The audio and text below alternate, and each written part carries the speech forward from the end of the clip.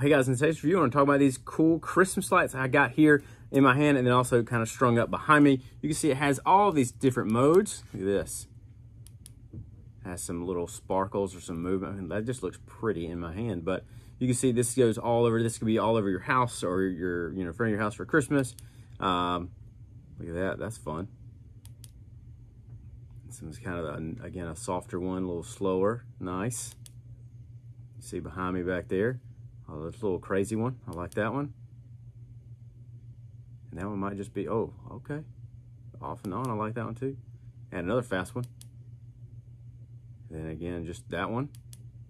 Boom, and then off. So it has a lot of cool different uh, features. I like it. It's super strong, super durable. You can see uh, kind of it comes up in a wad and just kind of peels off and it's super nice. Uh, we're excited. We're going to probably put this up in our house um, for Christmas. And so I think this is going to definitely be something we enjoy. Uh, but it has this little remote control with it. Uh, super easy to use. I'll show you that here in just a second.